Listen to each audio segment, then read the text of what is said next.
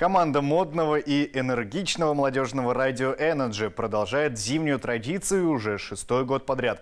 Приглашает поклонников экстремального спорта на Energy in the Mountain.